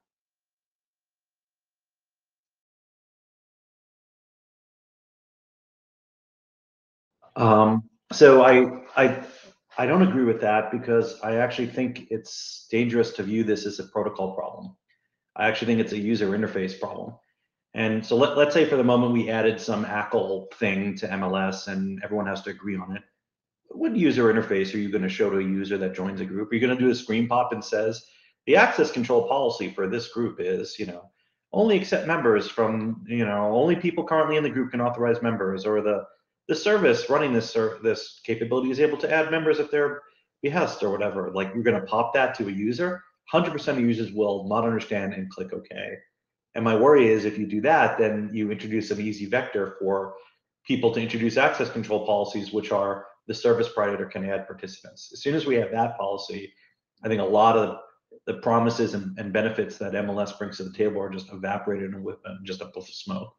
So I, I think you need like a like we're going to keep this simple use you know we're not relying on user experience for people to make sure the ACL is good we're just going to have an ACL that is default and and for MLS purposes for sorry for MIMI purposes I mean MLS can add it for other use cases but I think for you know for this at least like I think it has to be something that's just baked in and just works and doesn't invite a recipe for disaster I do think as a conclusion that would rule out the ability of someone to just join a group without being invited.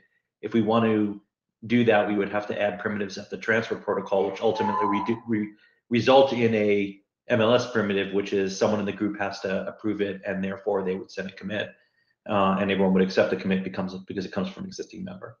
That's that's at least my view on this. Thank you. So Uh, I, think, uh, I think I think I was next actually. Um, Sorry, then go but ahead. no worries. This this interface is impossible. um, um, um, I think I think we may have to say some more things too, um, uh, which is um, I don't think anybody's assuming the access control list would be enforced by humans. I think they're assuming that access control list would be enforced by software. And so the software would say, you know, if the, if a person, anybody who's like first name starts with A wants to join, then just go ahead and accept their external commit, um, external join. Um, um, I guess, um, you know, Jonathan, I, I do agree that there's like, it is, is in many cases an unattractive property to a lot of the system to add new members to the group.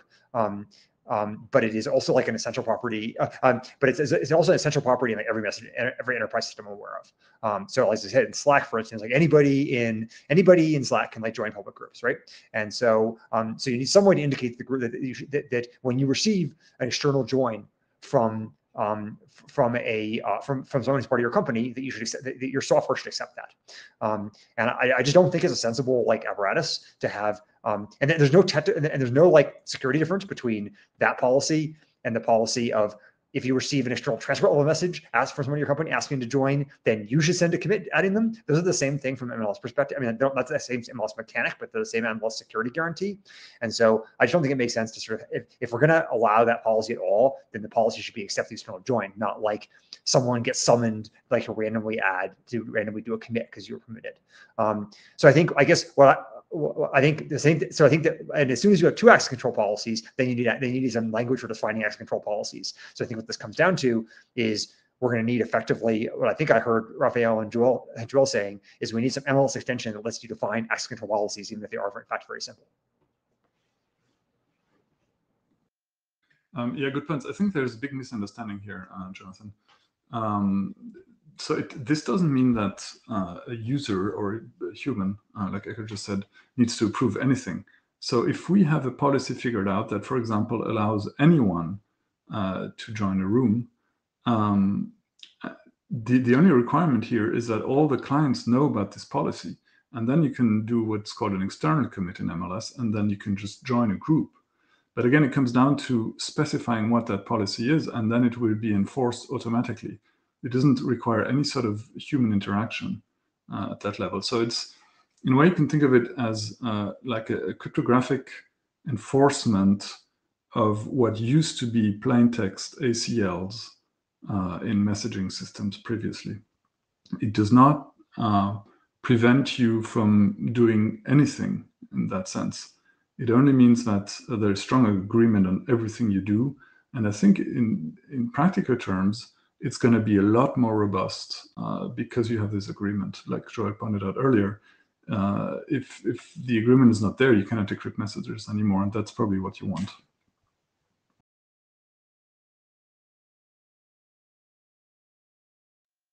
Yeah, I I guess I wanted to add to to, um, to respond to what Jonathan was saying. What I was saying was agnostic to you know the particulars of how we how we what we allow in terms of flexibility for the ACL. In fact, when I when I was talking, what I had in mind was we're going to define a basic ACL, and that's it, and that'll be the once and for all ACL. Not everybody gets to define their own ACL per group, and that has to be displayed to users when they join. Nothing like that. I mean, that also works with what I was saying, but I didn't even have that in mind.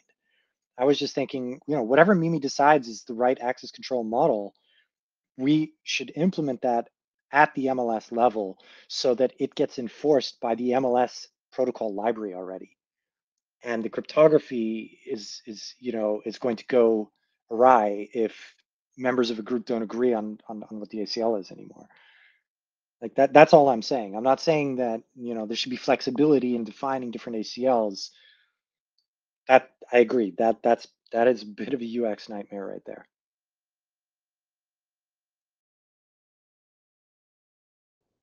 Ah, so thank you, Joel. That's super helpful. That, that that I think is actually the source of the disconnect because I thought the only re- it, I thought the proposal was we need an ACL language in MLS because we want to allow for variability in the ACL from group to group, which is the thing that I'm strongly opposing.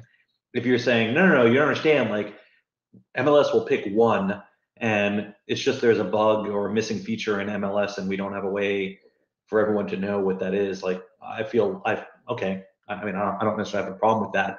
Um, uh, as long as that's what we're agreeing, like that, that we're not going to allow for variability in access control policies here. Um, are we? Right. So Matthew says, what's the point if it's hard coded? Okay. So we still have a discussion. The point is to uh, catch bugs. The point is to ensure that any kind of disagreement like can't go you can't go anywhere with disagreement because you're not even going to agree on the cryptographic keys anymore. It it won't catch everything, but it'll catch some things.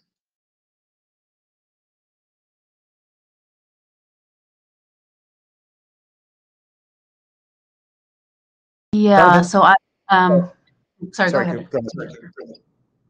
Well, yeah, I was, I, so I was sitting here thinking, I, I, I had missed that it was, it was just one, and I was wondering if uh, just having one is really gonna accommodate the use cases that people had been contemplating thus far in the discussion. Um, and it, it wasn't even obvious to me if there was just gonna be one, what is it gonna be? Is it gonna be anybody who's in the group can authorize another joiner? And if it's not that, then what is it? Or do we actually need to have, like, say, between one and three different options here?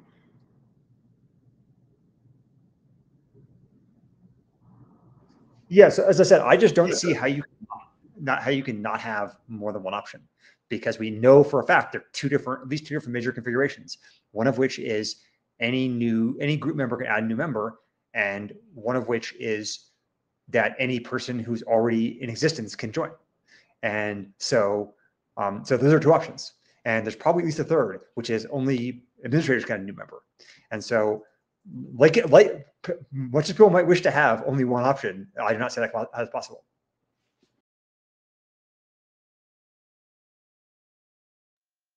I think there is some misunderstanding here, um, as if we have to choose between um, the authentication guarantees that MLS gives us and something else. Um, at the end of the day, MLS can do whatever you want in that sense. If if you want to set up where anyone can join, and I'm making this up now, that has a certain domain in their email address, uh, because that's a rule uh, for, for that particular group. Um, then you can use external commits in MLS, which does not rely on anyone inviting you. You can just join, um, and and that's just going to work uh, essentially because all of the clients know about this particular rule uh, for that group, and then they're going to enforce it. And if um, and the other thing that I forgot to mention earlier is that we don't actually necessarily have to rely only on the clients to enforce this because we might say this it's a bit late you know if something reaches a client that that might be spam like a malicious um, message where alice adds bob and that's then invalid we can stop that at the server level as well so in the three proposals we currently have for the delivery service and the transport all of them essentially would allow inspection at the server level whether or not a certain message is valid uh, a particular commit. So whether that is a, a, new user joining an existing group or a user inviting someone uh, to a group or uh, a user adding an extra device, um, as long as, as this is well defined, then um, we can stop that on the server uh, early on. So I, I still do not understand what the difference between one, two, and three is. Uh, because for me, whatever we're going to agree on, um, it, it will be baked into the MLS level uh, authentication anyway. We did say I wasn't sure how wide frame this. um, uh, um, uh, um, so I think, uh, um, but but I think I think we are closing into what I would uh, what I would claim is is three, which is there is some MLS attribute that says what the policy is that you're supposed to accept, supposed to apply when you receive an extra an external commit um, or other or other message, and that is attached to the group and and, and bound into it in the way that you and Joel were, were indicating.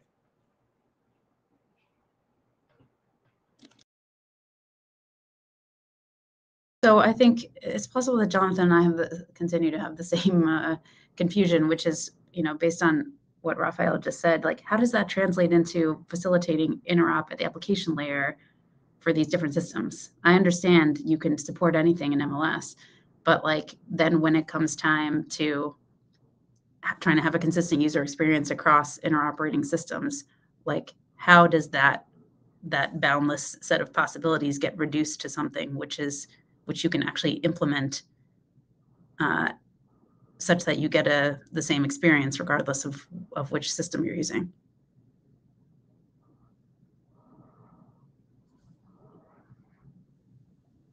Uh, maybe I can take this one quickly. Um, I mean, yeah, the, the problem as such is still unsolved in the sense that it's a charter question now, whether or not we need to recharter um, to have ACLs and, and policy and moderation uh, as part of the scope. But it's orthogonal to MLS in that sense. Um, if we want interop on that level, um, we need to specify that. And again, whatever is the outcome of that specification process can then, you know, just get ratified by MLS additionally.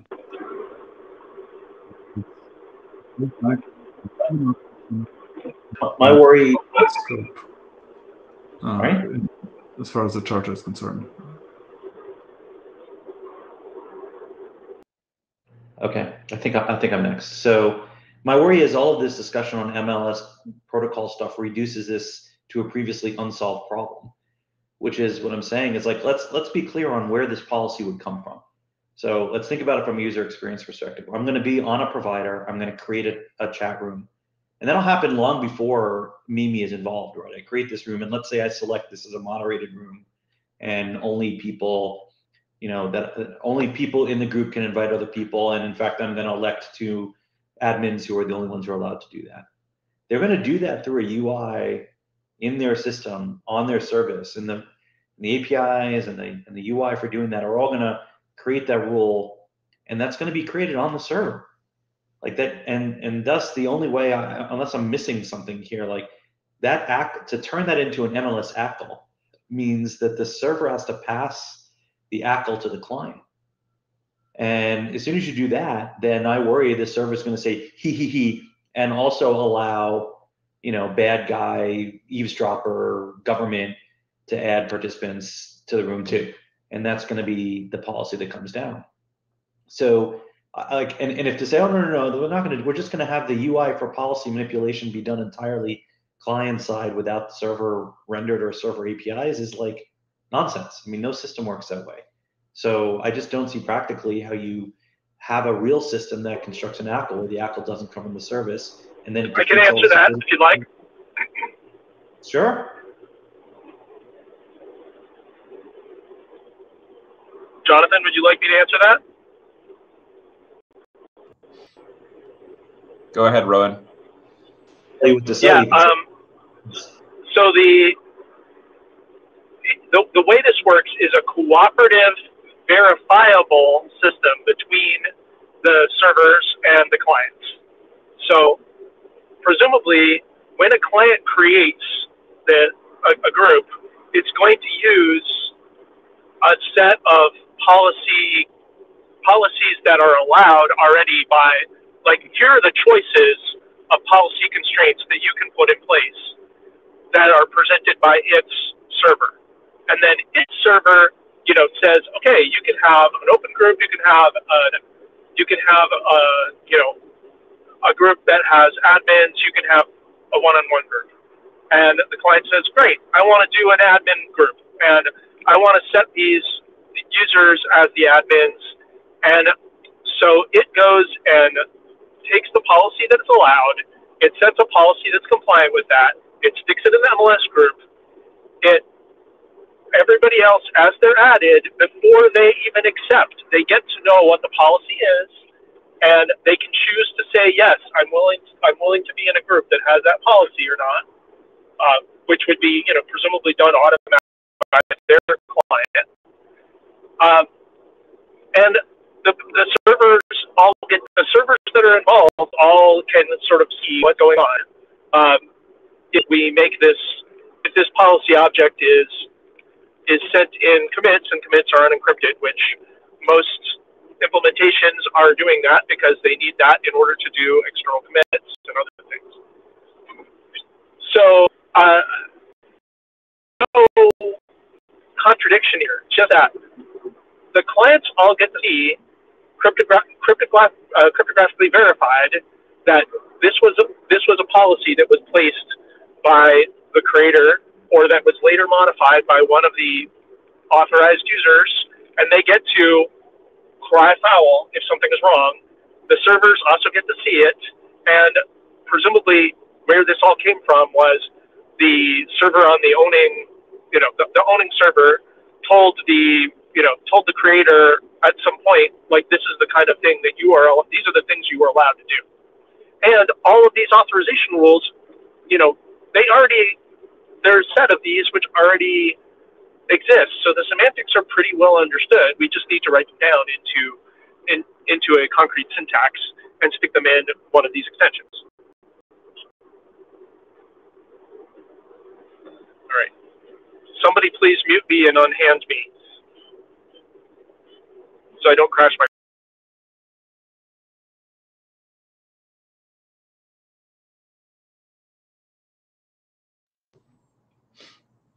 Jonathan, do you have any response to that? You're still in the queue?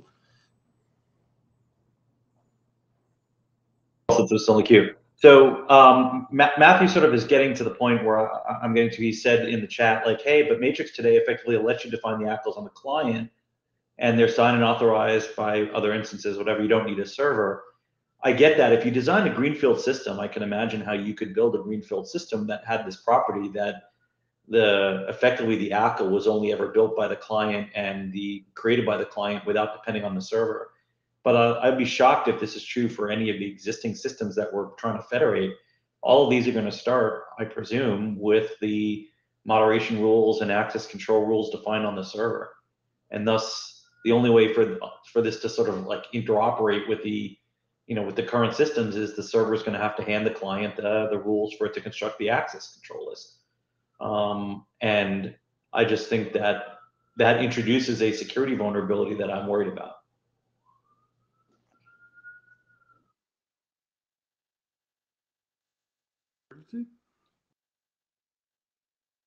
All right. Should I go ahead or? Yeah, go ahead, Joel. Okay. Um, yeah. So, so basically, I, I I have the same view as Rohan does, right? And to Jonathan's point here, you know how the room gets set up that's that's between the client and and, and its local like vendor and and it, they got to negotiate like okay what ACLs can i use and you know who can i add stuff like that but eventually it's got to it's got to decide on something it's got to reach some point of view of like okay this is what the group's going to look like this is what the ACL is going to look like at that point it creates the mls group and then it can put whatever it ended landed on into this part of the state of the MLS group, at which point it then signs that state. And that's the end of any chance of the vendor interjecting or modifying anything, right? Because now it's signed by this user who's creating the group. And, and now it becomes an end-to-end thing. So that's one thing I wanted to say. The other thing around this, this sort of, you know, this, this, um, like uh, the, the meta, the meta I like that term, Matthew. Um, to me, this is like a, this is like basically like modality. It's the same thing we're talking about as how we want to deal with modality of rooms. Right? It's, it's the same conversations. And and yeah, to me personally, it makes sense to maybe define a couple like um, you know an unmoderated room and a moderated room. I'm not sure we you know really need anything more that. Some sort of common denominators one two three modes some not more than that and that's it. And that's that's what that's what people got to support and and that's it. Not not not anything more flexible than that because then it's just going to become a nightmare and then i mean it's just too too complicated of a ux problem so that's maybe what needs to be negotiated at the beginning with the vendor you know with your with your own uh, local host or, or whatever yeah that's that's how i would basically imagine this to work um i don't know if that sort of addresses the security problem or I, would be interested jonathan in understanding more about that security issue with that in mind what with this description in mind that, that you're concerned with?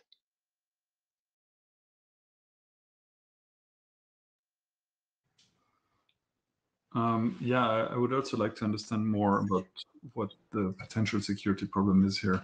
But if it is that um, clients can now dictate to a provider what the policy is, and that's not the case because they don't get to create a group if, if they don't abide by whatever the vendor uh, thinks the, the policy should be.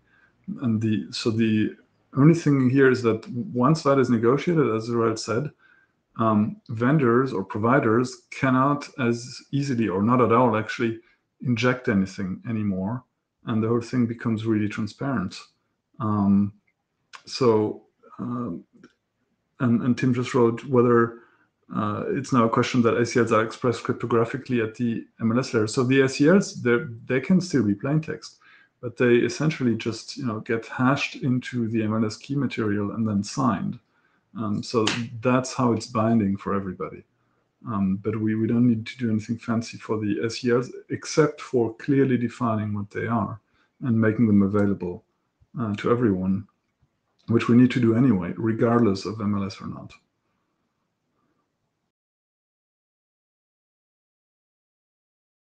inevitable that um, as um, Jonathan says that like groups are going to have some um, you know uh, some dictation of what the policy is from the uh, from the vendor um, for the, the, the, owning server.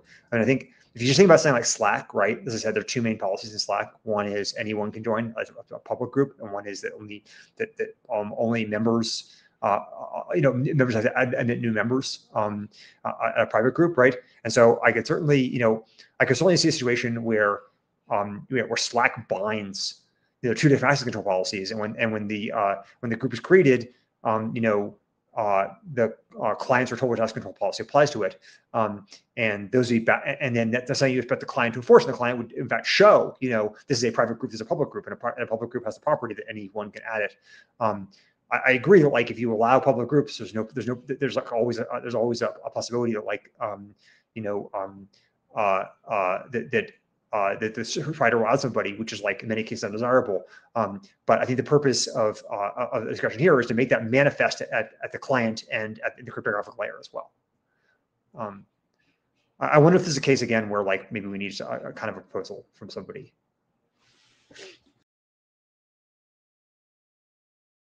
Um, let, let me try and describe this specific threat. I, I think I've not done a good job, so let me put it in attack terms. So let's say you have a malicious provider.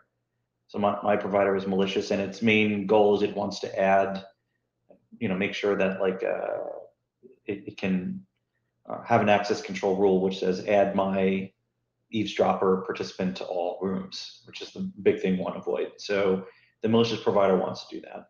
So my worry is I, as a user, I'm a customer of this malicious provider. Um, there's an existing room in the system. Um, and so I add a participant now outside of my provider, which is where we begin the MIMI experience. Uh, in this proposal, what, you know, because what will happen is that th this room has existed for a while. It has an access control policy, which is say moderated with two admins in it that is not, that is, is known and stored on the provider. Like that's that's how my mobile app works, like or my web app works. It goes to the server and it gets the data for the group, which includes these policies here, right?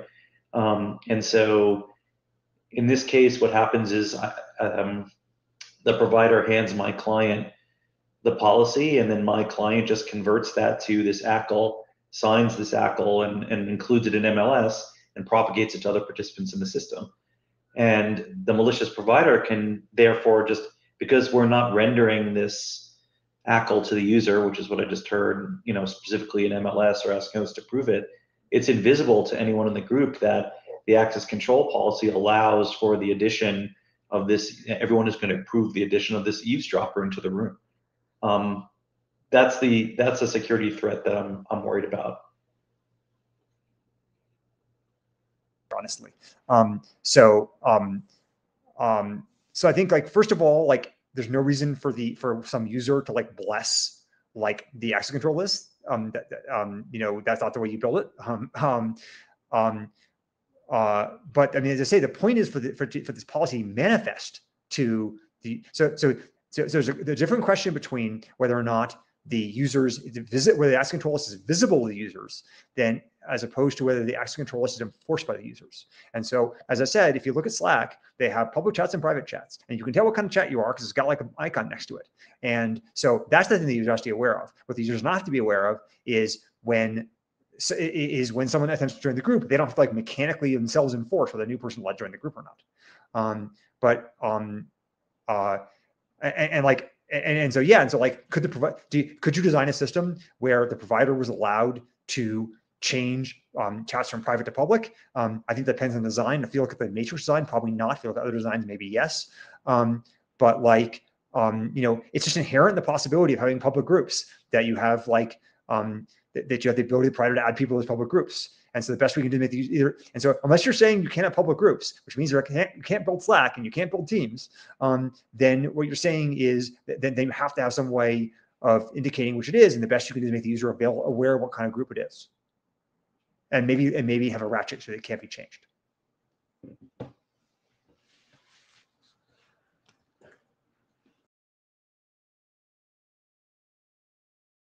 I think what we we need here is a draft, or maybe more than one draft. People have different opinions. But I was just going to ask if anybody is already working on such a thing in M- in MLS, um, and if not, if somebody wants to, um, because I think that's we need to kind of spec out what this looks like uh, to progress the discussion here. I think.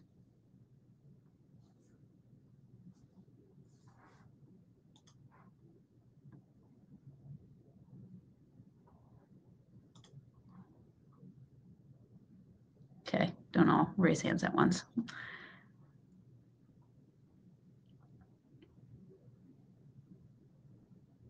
Um, I don't know. Yeah, yeah, yeah. Okay. Um, again, I don't think it's it's specific to MLS here. Um, all it needs is something that can be serialized, and we agree on the serialization format, and then we put that into an MLS extension. But other than that, it's completely orthogonal to MLS. That's fine. I- I'm looking for like a volunteer who's going to do some work so that we can have like something to look at in terms of the actual functionality that that the applications will will be built on. So Well, that's I'm what willing I'm to try asking. to draw something up. Okay. Thank you. And we close the queue, so I'll turn back to Tim.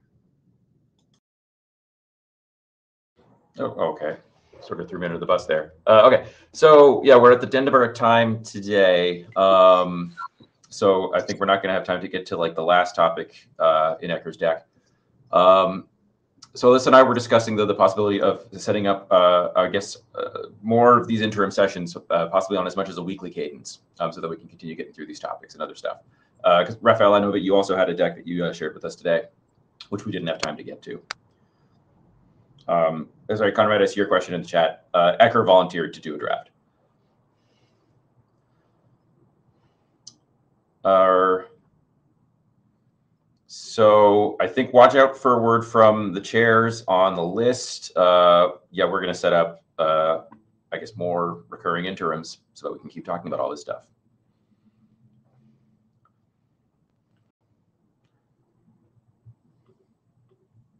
I would be interested in in people's reaction to that, but I feel like we have this is this is helpful. It's uh, like at the beginning of the two hours, we're like, are we, are we really going to spend two hours on this? And like, lo and behold, we don't even get through it all. So, um, so I think it, it is helping us. And um, we had a little bit of delay getting the first one scheduled after Yokohama, but with we can do two weeks notice um, for the next one, and you know, schedule a bunch of these out further in advance. And then if we don't, if we come to a week when we don't need one, we can always cancel. So that's kind of my inclination on the scheduling.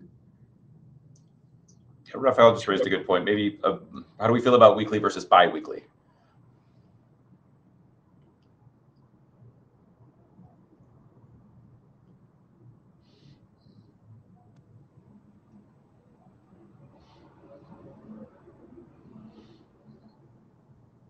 Okay, I'm seeing per- bi-weekly. A, a rough consensus, as the phrase goes, uh, behind bi-weekly.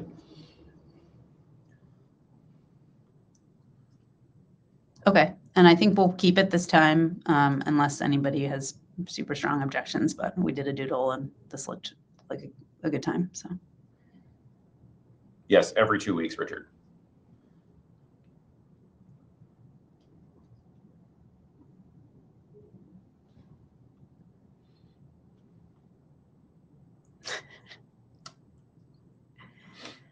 All right, well, if somebody wants to write a draft that clearly defines semi and biweekly, we can hash that out in a different working group. Um, okay, uh, I think that's it for today. Uh, thanks very much to all the presenters and to everyone for a very stimulating discussion.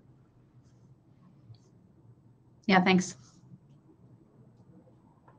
And Konrad, if you can upload your um, notes into the pad uh, or whatever it's called, the HedgeDoc um, that would be great. And they'll, they'll make it into the data tracker that way. Thank you for taking notes. Yeah, thanks again.